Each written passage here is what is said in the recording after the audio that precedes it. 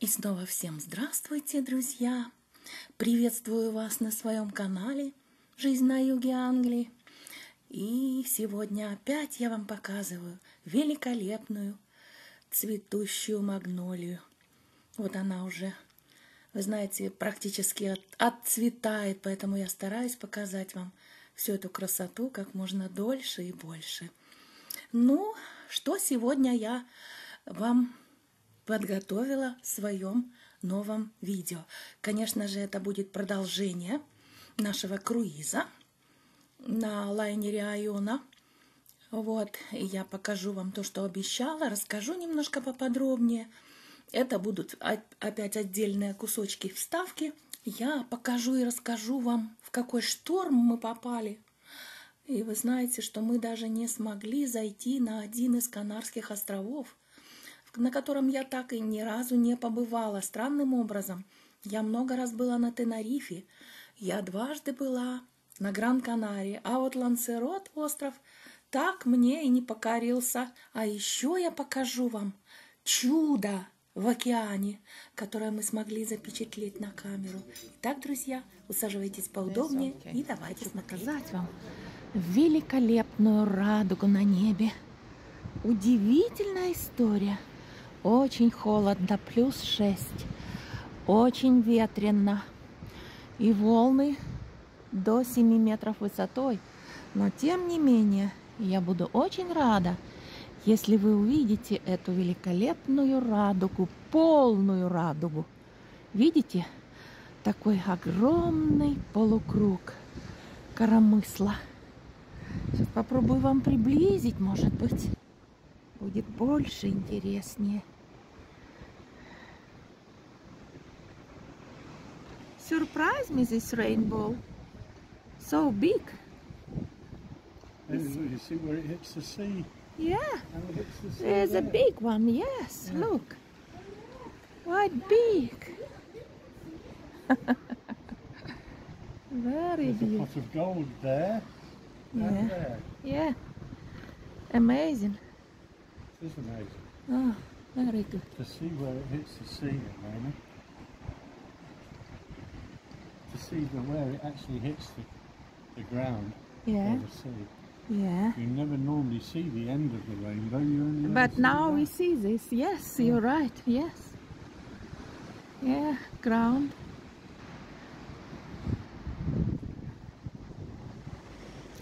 Третий день нашего путешествия. Направляемся Э, на юг по Атлантическому океану к островам Мадейра.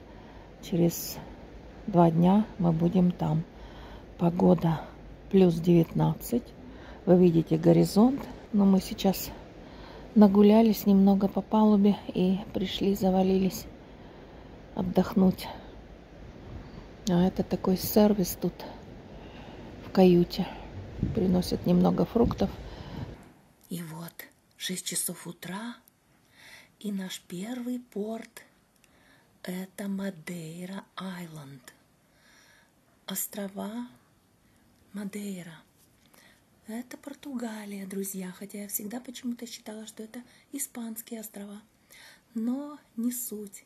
Обратите внимание, мы прибыли затемно, и вот специально меня мой милый разбудил – чтобы показать, как красиво смотрится ночной этот остров.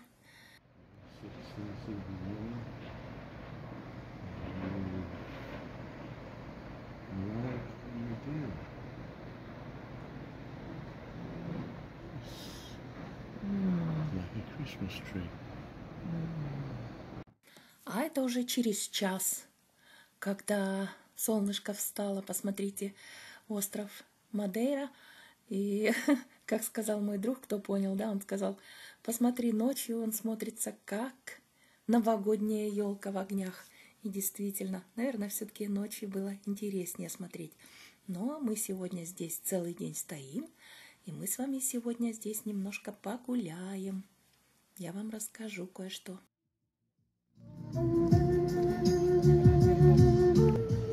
Hello, baby.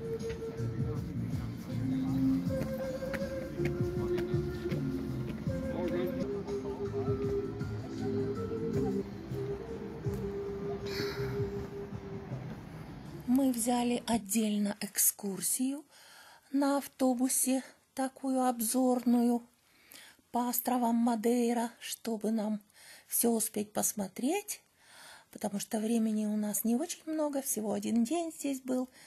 И вот, вы знаете, когда мы поехали, стали подниматься все выше и выше в горы, и вот так вот из окна автобуса смотрится этот серпантин дорог, эти высоченные такие обрывистые скалы – знаете, так страшно, я вспомнила сразу, что я когда-то здесь уже на этой Мадейре была, и точно так же я была в ужасе от вот такой вот серпантинной дороги. Посмотрите, она вьется просто на самом краю ущелья. Ну вот, пришлось еще раз мне испытать этот страх. Только дороги все такие. И вы знаете, вот наш огромный автобус – был полон пассажиров. Все пассажиры, конечно же, с нашего лайнера круизного. И все англичане, все старше 70. И никто, кроме меня, не, не боялся и не паниковал. Все радостно смотрели вниз. А здесь больше двух тысяч метров обрыв. Посмотрите. Вот. Я сидела не у самого окна, но все равно, когда мы вот проезжали здесь над, над такими пропастями, я просто э, с трудом сдерживала себя, чтобы не закричать. И знаете, вспомнила, э, есть очень много таких популярных видео, когда там туристы едут по ужасным местам, страшным дорогам, которых там по пальцам перечесть. И вот, наверное, все-таки эти страшные дороги есть и здесь, на Мадейра-Айленд. Но, в конце концов, мы поднялись наверх, вышли. День прекрасный, чудесный. Я показываю вам немножко здесь цветущую растительность. Вид такой. Мы отдыхаем немного. И вот сейчас нас пригласили здесь в кафе на самой вершине горы, попить кофе, сфотографироваться на смотровой площадке, что мы, в общем-то, сейчас и делаем. На что еще я хотела бы обратить ваше внимание, что, несмотря на такие огромные цены на круизном лайнере, где, по идее, должно было быть все уже включено, но, тем не менее, все экскурсии странным образом оплачиваются дополнительно – и вот не так уж много экскурсий мы и заказали себе, но это было еще дополнительно 500 фунтов.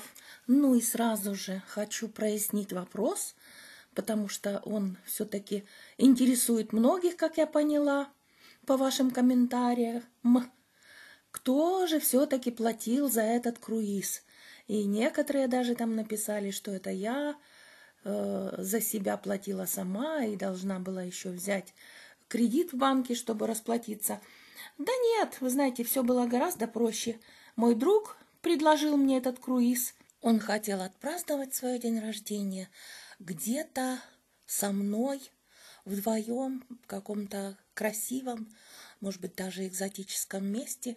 И он предложил мне на выбор вот варианты – Сказать по правде, я не хотела ехать в круиз. Я знала, что мне там будет скучно. Это, знаете, как на подводной лодке. Вот, но он уж очень хотел именно в круиз. И поэтому я согласилась. Ну, вы знаете, э, если человек предлагает, тем более сам оплачивает, то будет как-то даже некрасиво отказываться. Да и каюту, вы знаете, когда он мне показал фотографии, какую каюту он заказал для нас. Э, я, конечно, обалдела, потому что я рассказывала вам, что я уже была на круизном лайнере со своим мужем Рентоном ровно 10 лет назад. И, конечно же, тогда это мой муж все оплачивал, заказывал, покупал, и у него была скидка большая. Но, тем не менее, вы знаете, я помню, я, конечно, была очень довольна, что я выехала впервые в круиз. А, вот, все было для меня интересно в первый раз. Но потом, когда я сравнила, в какой каюте мы с Рентоном э, проводили время две недели, тот же самый круиз. А, вот, и у нас была каюта на четвертой палубе, там внизу в самом... Вот я вам даже нашла фотографию нашей каюты. Случайно сохранилась. Тогда я еще никаких видео не делала, но фотографировала. Так вот, посмотрите, да? Э, это вот все, что здесь попало на экран. Все вот это вот и пространство. Я стою с э, спиной к двери входной. И вот Кровать только и смогла поместиться двухспальная. Малюсенькие проходики с двух сторон, лампочки над головой, а там завешена э, стенка и наверху круглый иллюминатор. Никаких балконов, ничего. Иллюминатор открывать вообще нельзя. И здесь было душно. И здесь была э, у меня клаустрофобия. И вообще, конечно, вот эту каюту не сравнить. Я, кстати, даже не помню, была ли у нас ванная комната и туалет. Наверное, все-таки были отдельно. Но не помню. Вот представляете, да, две большие разницы. И то, что я вам показала с балконом, шикарную нашу каюту. А я помню стоимость такой каюты 750 фунтов с человека per person, как здесь говорится. Значит, полторы тысячи фунтов за две недели заплатил мой муж Рентон тогда. И он настолько ворчал, возмущался, он постоянно меня этим попрекал, понимаете, вот. Ну вот такой вот попался мне муж, который мне обещал золотые горы, да, и очень-очень долго ухаживал за мной так красиво, когда, помните, в Мулин Руш водил меня, да, и что-то такое предлагал мне там купить на Елисейских полях себе э, с его банковской карты. Оказалось, что это просто пыль в глаза. А потом меня за каждый орешек в пивном баре он попрекал. И ведь вот э, муж мой Рентон, он был среднего класса англичанин, он был достаточно обеспеченный человек, у него были хорошие вклады на банковских счетах и у него пенсия была две с половиной тысячи фунтов в месяц. Это огромная пенсия на те времена. Ну да ладно, что уж тут вспоминать и сравнивать, как говорится. Неблагодарное это дело. Все люди разные. Что там у кого в голове, очень трудно понять и определить. А главное, что каждый несет ответственность только за себя и за свои поступки. А я, например, считаю, что я все, что обещала, этому человеку, Рентону, я все и исполнила, и этого вполне для меня достаточно. Меня спрашивают еще мои зрители, а что, собираюсь ли я замуж выходить за него, за моего нового друга? И когда я вообще расскажу, что он, как он. Да вы знаете, без меня меня женили называется. Но вот я недаром вам рассказала случай, Э, первое мое такое неудачное замужество за британским мужчиной. Я была замужем 6 лет. И оно как-то, знаете, не придало мне оптимизма снова начинать. Я вот как-то сейчас чувствую себя вполне счастливо, независимо ни от кого живу. И вот удивительное дело, что вот мы вот так вот встретились с моим новым другом неожиданно, на самом деле неожиданно. И нам, знаете, вместе хорошо, и мы очень всем довольны и счастливы, я так скажу, пока время покажет, что там будет, как там будет дальше, я не знаю. Но вот рассказываю вам то, что в моей жизни происходит, и, возможно, расскажу немножко побольше. Если хотите узнать, задавайте вопросы, друзья. Ну а сейчас, по-моему, самое время поставить лайк этому видео. И я продолжаю дальше. Не забудьте, друзья, подписаться на канал, те, кто еще не подписан. Не забудьте оставить ваш комментарий. А также, если отправите мне супер спасибо, то я буду вам весьма благодарна. Итак, мы продолжаем. Нет никаких особо пляжей, по крайней мере, Я вижу вот там очень далеко, вроде как песок и пляж. Здесь ничего подобного. Ну и вот видите, смотровая площадка и толпа народу. Ну и вот смотрите, э, вот этот вот стеклянный мост, который не для слабонервных. И, конечно же, я вряд ли пойду по нем, по нему. Я вряд ли пойду по этому мосту, как сказать. Посмотрите, какая страсть внизу. Ну вот, люди запросто ходят. Если не смотреть вниз, то вроде бы как и нормально. Вообще, конечно, ужасно. Я помню по поводу этих стеклянных мостов много смешных видео, где люди плачут, но бегут, да? Некоторые даже ползут. Я прям не знаю, мне прям страшно. Вы представляете? Вот на какая я трусиха. Вроде кажется, ничего ж такого. А вдруг лопнет.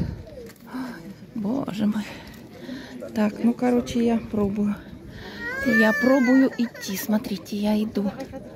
Я иду, представляете? Мама, мама, мама. О май гад. Я не могу поверить, что я здесь иду. О, нет, нет, больше никогда. Не хочу. Никогда больше нет. Посмотрите. Я на другой стороне. Какая я молодец. Вот. Вот так вот мы путешествуем. Чудесно. Ну вот. Зато мой друг показал мне класс, видите. Он запросто гуляет и даже делает видео. Ну и, наконец, мы после долгих таких и нервных прогулок по страшным стеклянным мостам, мы пришли в кафе, все-таки, о котором я вам уже говорила, да? Здесь стояли очередь, пока освободятся столы. Долго ждали, групп здесь оказалось очень много, много автобусов. Ну вот, время кофе, чаепитие закончилось. Смотрите.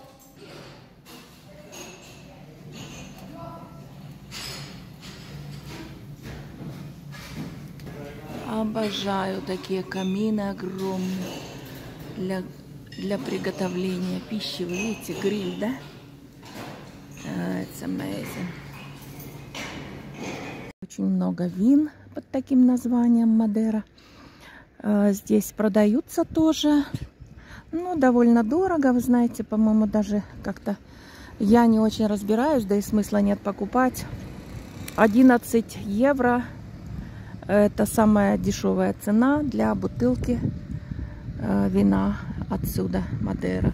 Мы еще немного погуляли, покружились, посмотрели остров Мадейра, вернее, это острова Мадейра с разных сторон, были на разных смотровых площадках. И вот усталые, но довольные, мы уже готовы ехать на лайнер обратно. Это наша первая остановка в порту Мадейра. У нас таких будет еще пять остановок впереди – а, по всем Канарским островам. Я вам потом подробно расскажу. Ну а сейчас нас ждет еще вечер на борту замечательного лайнера. Еще у нас э, там ужин будет в ресторане и будет небольшое шоу. Так что давайте-ка мы поторопимся обратно на лайнер, друзья, и продолжим.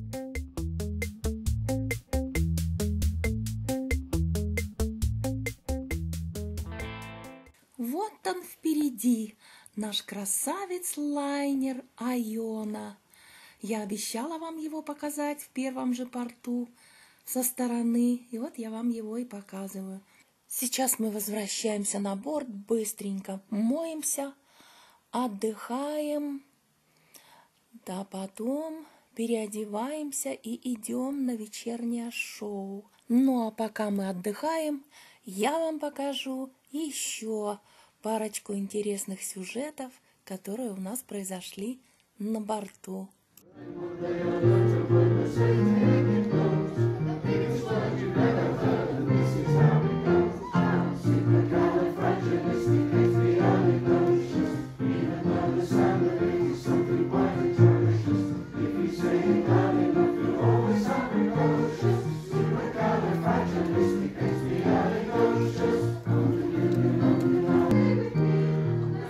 так развлекаются английские пенсионеры. Видите, как здорово. Поют вместе. Сейчас прямо удивилась сама и вас удивлю. Посмотрите, какая очередь здесь. Старички, англичане хотят выпить. Посмотрите. Вот они тут все расселись и ждут очереди. Видите, вот посмотрите, да? Я же не шучу. Вот это вот duty free. И все толпятся купить. Потому что здесь напитки очень дорогие. Так и здесь не дешевые. Мы дождались вечернего шоу на 17-й палубе. Очень красиво выступают такие гимнасты на лентах. Великолепная музыка. Я немного дала вам послушать этой музыки в начале, но к сожалению, мне пришлось основную музыку убрать, потому что это чужой контент, использовать нельзя. Ну, просто показываю вам, чтобы немножко и вас развлечь, и было вам более понятно.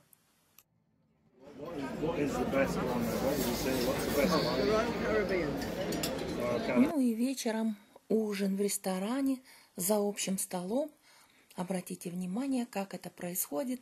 Очень любят англичане поговорить за столом, не только попеть, как я вам показала в начале. Мы отправляемся. Только-только отчалили от причала Мадейра Айленд. Ну вот сейчас очень медленно-медленно будет постепенно наш лайнер набирать скорость. И мы прямиком сейчас направляемся к Канарским островам. Первый остров, наша остановка, остров Тенарифе. Ну вот вы знаете, кто еще никогда не бывал в круизах, наверное, вот это вот такое заманчивое название и всегда такие буклеты, рекламы – красивейшие лайнеры на бирюзовой воде среди красивых белых островов. Яркое солнце и прозрачная вода. И вот белоснежный лайнер отправляется в путь. Как прекрасно, не правда ли? Можно подумать, что вы попадаете в сказку. Но как вы знаете, у меня на все есть свой взгляд. И вот дважды я уже бывала на круизных лайнерах, ну всего дважды, но я думаю, что впечатление я свое уже составила. Но об этом, друзья, я расскажу вам в моем следующем видео, которое, надеюсь, вскоре и выйдет. А я на этом с вами прощаюсь. Всего вам доброго. Берегите себя, пожалуйста, в это трудное время. Всем удачи, всем добра. Пока-пока.